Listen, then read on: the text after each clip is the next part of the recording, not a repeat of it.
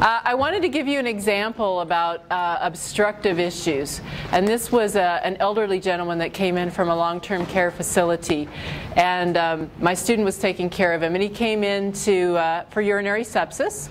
And they were treating him with the standard issues. They gave him plenty of IV fluids, which helps flush out the system. Luckily, he didn't have any cardiac or other problems that uh, prohibited him from having adequate fluids. They gave him antibiotics.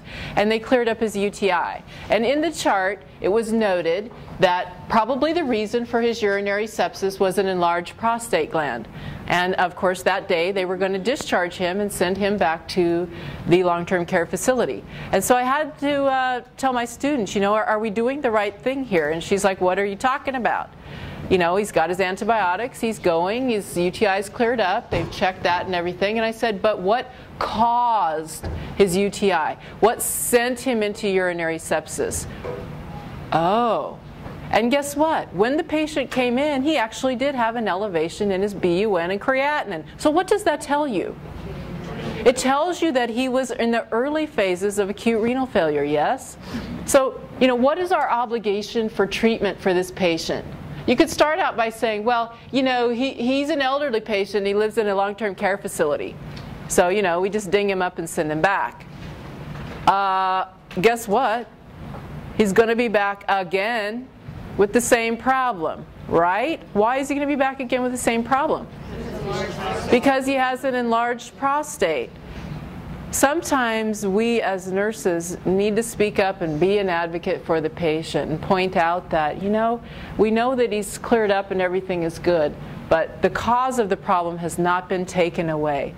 And so the chances are he's going to show up again with the same problem. And the next time his kidneys might fail to a point where they won't recover. Okay, so I'm just pointing that out. And I was frustrated, and, and, our viewpoint did not get heard nor paid attention to. I still had to say something. I, I, was, I just had to. It's like, excuse me, but the cause is prostate enlargement. We haven't taken care of that. He's still going to have that. He's still going to retain urine. He's still at risk for acute renal failure. So we're sending him off, and the next time he comes back, he might need, be facing dialysis. Okay? So just something to think about. It seems real like not a big deal. You know, you pick your patient for clinical. It's a urinary sepsis patient, came from a nursing home. They don't drink much. Maybe he's wearing a diaper. I don't know. I don't know. Frustrates me. It's just something to think about. All right, acute renal failure phases, and when I wrote these notes was I think right after I bought a Price Pfister Pfosset or something like that, so that's the way it came out on the slides. But the kidney goes through certain phases in acute renal failure. And how does it start? There's some sort of an insult, something that's happened before, in, or after the kidney. How do we know?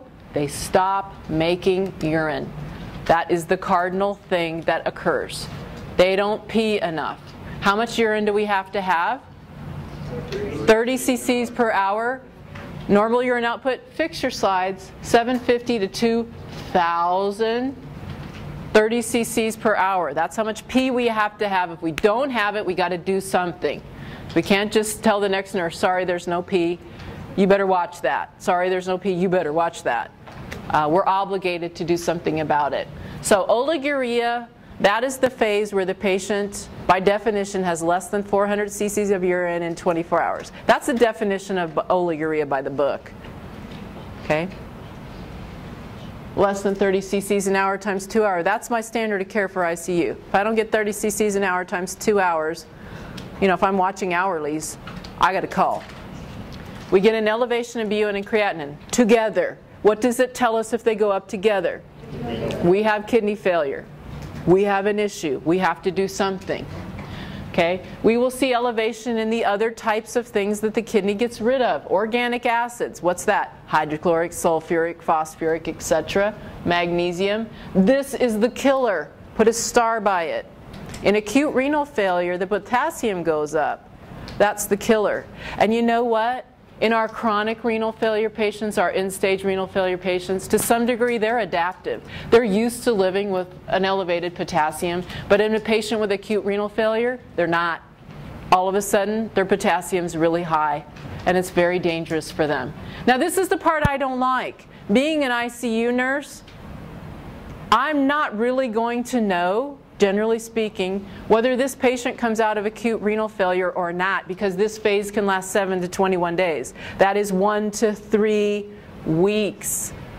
So the patient may not know whether or not their kidneys are going to recover.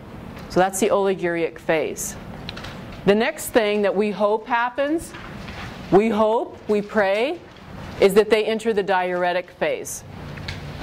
And all of a sudden, you just don't believe it. It's like overnight, there's all this pee coming out. It's, it's like liquid gold. We're so excited. If it's gold at all, sometimes there's just so much coming out that it's just like water. You know, the Foley bag is just bulging. We're like, oh my gosh, this is exciting. Your kidneys are working. But we have other issues that can happen. They pee so much that we're worried about them going into dehydration. And they pee so much that we're worried about their potassium levels actually dropping. But during this phase, we should see a normalization of the BUN and creatinine, and it should come down. There are a few patients, and this is why we have to be cautiously optimistic. There are some patients who only pee water as the kidney function returns, and they do not get rid of waste products. Okay, and they call that a non-oliguric renal failure. They pee water but not waste products. So there are a few patients that even though they go into the diuretic phase, they still have to have dialysis. So be careful. You know, be careful in your optimism with them. It's exciting that they're peeing water, but we also have to make sure that they're getting rid of their uh, waste products as, as necessary. This phase can last 7 to 14 days, so you got to make sure they're getting enough fluid and that they don't dehydrate. The recovery phase can last for up to a year, and all I'm going to tell you about that is their kidneys are never as strong as they were. They will always have weak kidneys after that. Once you have an insult, once you have acute renal failure, they're never as good as they were. All right, so with acute renal failure, you can make the difference. We can make the huge difference for these patients. We have to treat an elevated potassium. We'll talk more about how to do that in the next class. We're going to watch for that elevated BUN creatinine. How do we know it's renal failure? They go up together. together. That's what it is. All right? Managing fluid volume overload, especially in the acute patient. They stop making urine. They're going to retain fluids. What am I worried about? I'm worried about their lungs. Assess them early. Watch them through the day. Make sure that they're not going to fluid volume overload. Can I give them Lasix to get rid of the fluid? Only if they can pee. Because you think, well, I need, I need to give them a diuretic. Sometimes the doctors will give them diuretics. Give them 120 of Lasix, IV push, does nothing. Give them 120 of Lasix again, IV push, it does nothing. See, and after that, I don't want to play anymore. Give them another 120. You give them another 120. It's not doing nothing. That's what I'm thinking. If I'm a smart nurse, I don't verbalize that. They're going to track me down. But you get the point. If they're making urine, you might be able to diurese them that way, but otherwise you're looking at they're going to need dialysis or something. So identifying the cause and watching for complications. And I just want to share with you that you really can make a difference with this too. I had a patient in ICU when I was working in California, and this particular patient went into acute renal failure. BUN and creatinine went up, and we had no idea why. The patient didn't have a hypotensive event. They weren't in heart failure. They weren't in sepsis. There was no reason why. They weren't on an antibiotic that could cause the issue. I went through the list. I couldn't figure out anything. But guess what? Over the last like two days, the patient had been increasingly anxious, very anxious and fidgety. And so the nurses is Ativan, Ativan, Ativan, giving more Ativan because the patient is very fidgety and anxious. Like, I don't get this. This makes absolutely no sense to me at all. So I thought to myself, you know what? Something hasn't been checked here. Guess what I decided to do? I decided to check the Foley catheter. So after two days, I irrigated two days I irrigated the Foley catheter, and guess what? It was plugged. And all this pee started coming out. Now, why the patient didn't leak around the Foley catheter, why the patient didn't rupture their bladder, I do not know. But over that two day period, the obstruction caused by that Foley catheter caused the patient to go into acute renal failure. We got it opened up. The patient started peeing, and all of a sudden they didn't need Ativan anymore. Ativan, Ativan, because they weren't trying to fidget and crawl out of the bed. What does it feel like when you got to pee really bad? well, that's what the patient was experiencing night and day. Ativan treats that very nicely, but does it take away the cause? So then I was like the joke in the unit. Anybody went into renal failure, just, just send Hefter in there and let, him, let her irrigate the Foley. That she has the cure-all for acute renal failure. okay, that was my billing for quite some time after that. But the point is, you know, we may, you know, eh, you go through this transition in nursing school. You're in block one and you're emptying the Foley, you're recording the I&O. You know, as you get through two, three, and four, you're like, thinking about the Foley. You're thinking about what caused that acute renal failure. Can you figure it out? Somebody has to figure it out. You're with them all day there, all day long to start looking at all these issues and reasons. Now, what would have happened if I didn't irrigate the Foley? The bladder might have ruptured, or the patient might have gone into renal failure and not recovered.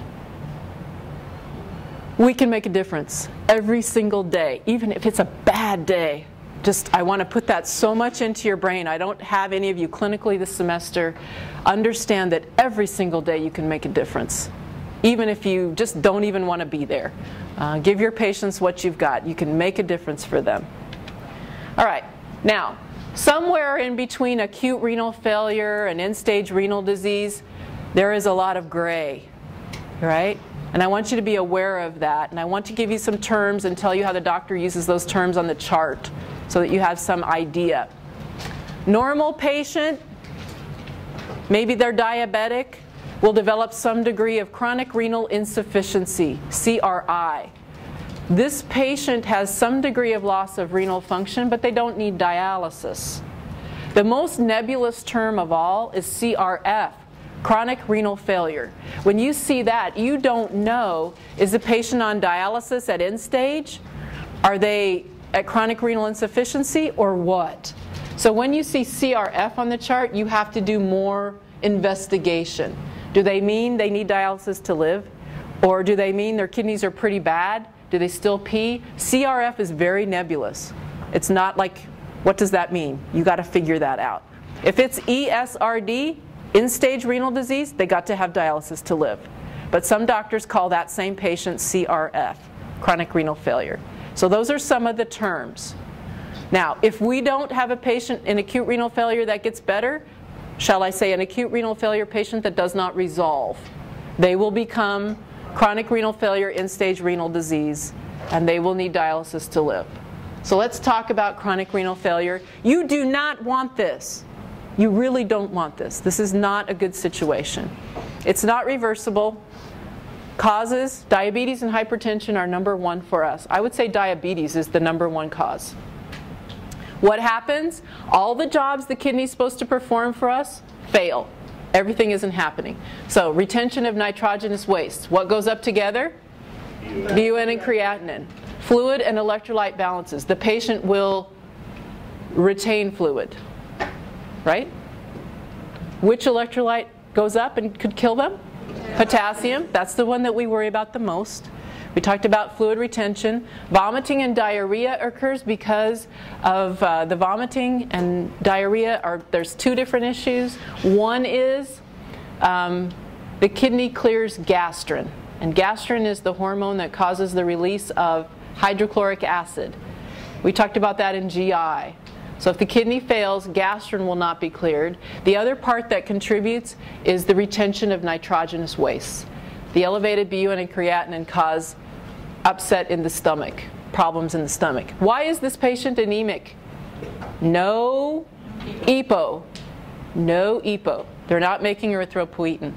Why do they have calcium and phosphorus imbalances?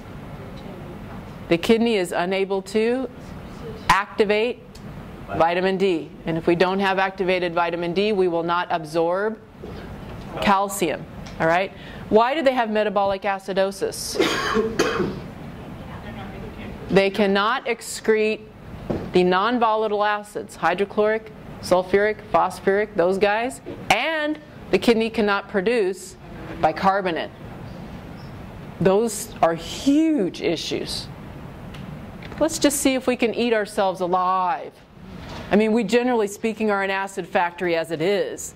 Acid is the byproduct of most of the, the things that happen in our body anyway. All right, so I have to make it simple for myself. I put it in red. If the kidneys don't work, your waste products build up, your fluids are retained, you don't make blood, and you don't absorb calcium. That's the plain talk that is in my brain. Assessment, no P. No P. End stage renal disease patients, most of them don't make any urine. BUN and creatinine go up together, potassium goes up. You know, really the lab profile for these patients, most everything goes up. There's only a few things that go down. What goes down? Calcium, Calcium and H and H, red blood cells. And it doesn't matter if it's acute or chronic renal failure, you get the same profile. That helps in learning renal. All right, so the patient develops hypertension. Why? Fluid retention. They can go into CHF. Why? Fluid retention. They can get pulmonary edema. Why? Fluid retention. So what's a big issue for these patients? Fluid retention. How do we get rid of it? Dialysis. That's usually what we're looking at. All right, so Another thing that we might do for them is restrict fluids. They hate it. Might be 1,000 to 1,500 cc's per day. They hate it. All they're going to get is one 44 ouncer for the day. They will take their urinals and go to the bathroom and fill them up with water. Gunk, gunk, gunk, gunk. I'd like to tell you I've never seen that. I would like to tell you I've never seen that. I have seen that. Now let me ask you a question. If we're going to manage the patient's fluid volume status, which would be the best indicator? I&O or weight? That's right, because you might not catch your patient in the bathroom sucking out of the faucet or drinking out of their urinal. You might not catch them doing that. The weight does not lie. Right? If they're drinking a lot of extra fluid, you're going to pick it up that way. Do I think I've ever done a perfect I&O in my entire 20 plus years of being a nurse? How many of you know it's not possible? It's not. We have an approximation. We have an idea of what's going on. It's not perfect ever. And we can't say how much they're losing insensibly. We don't know how much they're losing in their stool, how much they're sweating out if they have a temp. There's things we can't know. We just can't know. All right. Other things we might see treatment rise, treatment-wise, uh, cation exchange resin. That's referring to the medication Kayexalate. Kayexalate treats a high potassium. It's nice that it starts with a K. It treats a high potassium level, right? It's an exchange resin, which means it gives the patient salt or sodium and it binds to itself potassium. An important thing with Kayexalate, in order for it to work, it has to come back out. It has to come back out, right? If it stays in the system, the, the potassium gets reabsorbed. So diarrhea is necessary. Sorry to tell you that. Okay, calcium replacement, yes, but we also have to give that with activated vitamin D. Phosphate binders, we'll talk about that more in the next class. They don't excrete it, so we have to bind it. Bicarbonate, that's about the only time we give bicarbonate these days. We used to give it so much, is in a patient who has renal failure.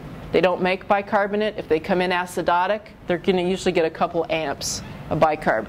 Now, Epogen or blood, how do we know? Symptomatology.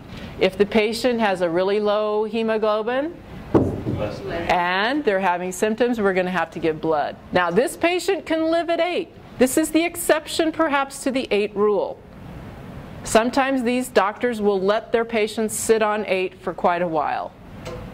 Again, you need to know is the patient symptomatic with that? That is still your ammunition. If they're symptomatic with that, you're going to be able to get what you need. If they're going to need a blood transfusion, when should they receive it? during dialysis is the best time for them to receive it. We'll talk more about that. Special dietary restrictions, we'll talk about that later too, but generally low potassium, low protein, high carbs. Dialysis can be hemodialysis or peritoneal or transplant. All right, hemodialysis, patient has to have an access site. Either a fistula has been created or they need a central venous catheter. In this instance, that artificial kidney replaces and does for the patient what their kidney should do in most respects, meaning it removes fluid, it removes waste product, and it gives bicarbonate, or it gives acetate, which is the buffer that's used. The blood travels through these small little tubes, and the tubes are bathed with a dialysate, a solution. And in that solution, there's usually very little potassium, right? There's no waste products, and there's usually some sort of a, a particle that helps pull fluid out. Does that make sense? And there's acetate, which can go in. By principles of diffusion, things that are in high concentration move out to areas of low concentration. By principles of osmosis, there's movement of water from an area of low particles to high particles. The other thing that we do with this process is we apply force. We apply a pulling force around these tubules. That's called filtration pressure. So we pull against it, and that helps facilitate movement of water and waste products and such. At any given time, the patient's going to have about a unit of blood out of them circulating through that machine. So we have to be sure that there's adequate blood pressure before we send them there. We need to make sure what the patient's weight is. Nephrologists will establish a dry weight for most patients. I want you to be 50 kilograms when you come off the machine. So if they weigh them and they're 55 kilograms and their dry weight's considered 50, how much fluid is going to be taken off that patient during the run? Probably 5 kilos. And the runs are about 3 hours long. How much weight is 5 kilos? 10 pounds. Can you imagine losing 10 pounds in three hours? I like, yeah, that is. You don't want to do it this way. But generally speaking, they go through that three times a week. It's not fun. Can you imagine they're tired all the time? Okay. The fistula or the catheter that this patient gets through uh, dialysis through is their lifeline. We don't use them for anything else. We protect them very, very much so. A patient that's in stage can only go about one week without dialysis, and then they die. It happens that quickly. So if they don't come to dialysis treatment, it's a big deal. So if they don't come, we gotta let them know, you know what, if you miss another one or two, you, you can die. Okay? So it's a big deal. No, they can be lots of places. They can be on their lower arms, upper arms, upper thighs. They don't usually do them below. And if it's a patient with end stage, they just keep moving them around until one day they don't have any vessels left. The catheters are not usually meant for long term. An option is peritoneal dialysis. In peritoneal dialysis, we referred to this in GI, where I was telling you that the peritoneal lining could be a uh, source of removing waste products and fluid. They put a catheter into the peritoneal cavity. We inflow a dialysate to the cavity, and that causes transfer of waste products and fluids to this area. We put it in there, we let it sit there for six hours, generally speaking. We drain it out. What comes out with it is waste products, okay? Electrolytes, bad things. And it's weird because when you flow it in, it's clear. When you drain it out, it looks like pee. It's like yellowish, like pee. So that's peritoneal dialysis. That takes six hours? You know what? I'm just giving you an example of one type where many patients do six hour exchanges every six hour, and we call it an exchange, where they inflow fluid, they let it sit there, and then they outflow it like every six hours. It takes about 30 minutes to do that exchange. Is that the one that you can do at home? Yes, yes, you can do this at home. If I got to have it, one of these two, I want this one. This is what I want. I know I can do this one. But not everybody can do it. Not everybody can do it. You got to have good eyesight. You got to have meticulous sterile technique. You got to be able to have dexterity with your fingers. So let me see. Do you think a diabetic's a good candidate? No. Maybe, maybe not. That, and the other thing is, guess what the dialysate solution is? Sugar. Sugar. Will some of that sugar get absorbed into the system? Yes. All right, so that's one form. The best option for chronic renal failure is going to be transplantation. That's the best option. You want to get a kidney transplant if you can. That's not always easy. Trying to get a match. You know, what are you going through? How is your body deteriorating while you're waiting? Um, it's very interesting if you've seen the programs on TV. Live donor kidney transplants, they can take one out of me, they can give it to you, and right as soon as you get it, you start to make urine. Fantastic. Right out of me, right into you, you start making pee right away. Is that awesome? So live donor is best with a good match. A family member, somebody that you're related to, it's like a miracle instantly. But that's not what happens with most people who get kidney transplants, is it? With the donors, a lot of times they have to take those anti-rejection drugs. All of them have to take anti-rejection drugs. That affect the new kidney they put in because Yes, it can. It can. We'll get to that in just a minute. It definitely can. Now, most people that get a kidney transplant get one from a donor, and that donor might be far away. All right? And we see this with brain death patients. We'll talk about that when I do neuro with you a little bit. Maybe somebody's been in a car accident, there's no brain activity, but we've kept them alive on life support. We ask the family, do they want to donate? Not right away after they find out somebody's brain dead, but anyway. And my husband's participated in those harvest types of surgeries where they come in alive, they take everything out, and then they close them up and they're gone.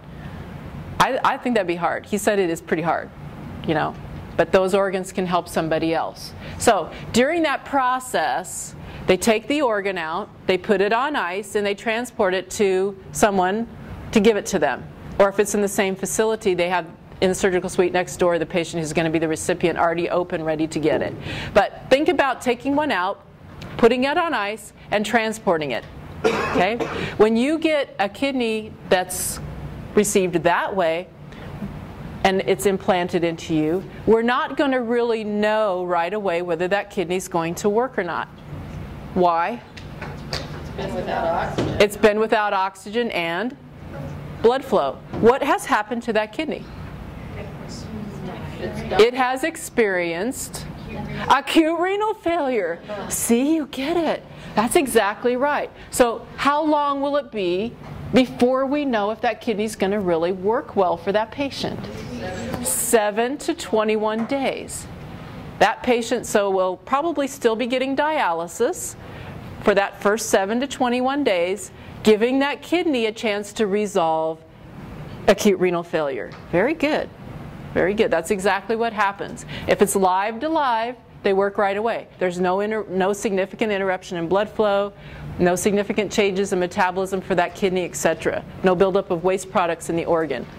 If it's a donor and there's time and ice and those types of things, that kidney will experience some acute renal failure. And we won't necessarily know about the function of that for a while. Now, the point that Sarah brought up about anti rejection drugs yes, whether it's live donor or whether it's cadaver donor, the patients that receive those will be on medications for the rest of their lives. We used to be able to pick them out. They'd be on so much prednisone, corticosteroids, that they would be Cushingoid. We're going to talk about that next week. We'd be able to tell just by looking at them. These days, they've done a good job of being able to put the patient on just enough medication to stop rejection, but not cause them to have a lot of side effects. So, doing much better. They're usually on two or three different agents. Prednisone is one. Usually, they're on Imuran, some of those types of uh, drugs which suppress the immune system. So, let me see. If we're suppressing the immune system, what does that place the patient at risk for? Infection. Infection. And sometimes it's really difficult to know whether the kidney is rejecting or infected. But let me guess, or let me see if you can guess, the one thing that happens if the kidney is rejecting and failing. What does the patient do if they're rejecting and failing? They don't make pee. Yes, Very good. You're learning something. That is the thing that we look for when a patient comes in that has a transplant and we want to know if they're infected or they're rejecting. Are they making urine? That's the most important thing of all. This is a very interesting thing. If you can get uh, a donor kidney, fantastic. I mean, that's the best possible scenario. But if not, you know, hopefully, I don't know. It's a very difficult situation. Not something that you want to deal with if you don't have to. Any questions? If your body rejects one kidney, do you get put back on the list, or do you, is it more likely that you're going to reject the next kidney? Is it okay? If you reject one kidney, can you be put back on the list? And would you be more at risk of rejecting again? Yes and yes. Uh, if you've rejected, you can get another transplant. But remember that your immune system now has formed antibodies against the one that you got. And it will be more sensitive to if you get another one. But yes, there are patients who've had more than one transplant. And you can go back on the list. In most states, the list has to do with how bad you are as to whether or not you get one, and not a lot of the circumstances. We talked about liver, and in some states, like with liver, you have to be off alcohol if that's the reason for your failure. You have to be off alcohol six months. I don't know of restrictions related to the kidney in that respect. Okay, so if you reject, you can be back onto the list, and if you're about to die, that puts you higher on the list. That sort of thing. Do you have a question? Is the cadaver one the one you're talking about if like someone's brain dead and then there's Yes, the cadaver one has to do with uh, the patient who's brain dead that we take to the surgical suite and harvest organs. Or maybe it's somebody that was in a motor vehicle accident and they were uh, DOA, dead on arrival, but there's still a chance that we can harvest the organs. Those are the kidneys that will experience some degree of acute renal failure, and it'll be difficult for us to know. Uh, how well that's going to take. But there's a lot of success. If you ever get involved in uh, Donor Network of Arizona and go to their courses, they have people come and speak to you that have received transplants. It blows your mind. They're just another person in the class sitting there.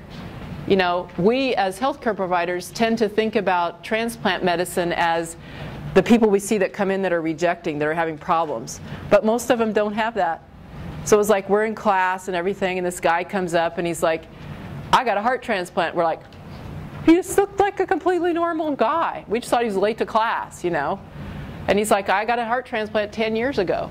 And I'm here to tell you, healthcare providers, that you need to give us that chance and you need to help, you know, increase the amount of donations and things like that. Do what you can to help that because I've lived 10 more years because of it. So you see those bumper stickers, you know, don't take your organs to heaven, you don't need them there, that sort of thing. So, okay, any other questions?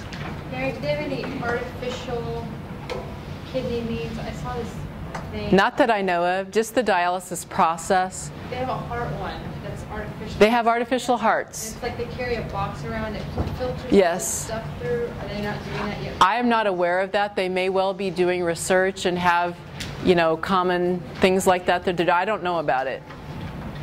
If you do, print it out and show it to me so I can share it in class.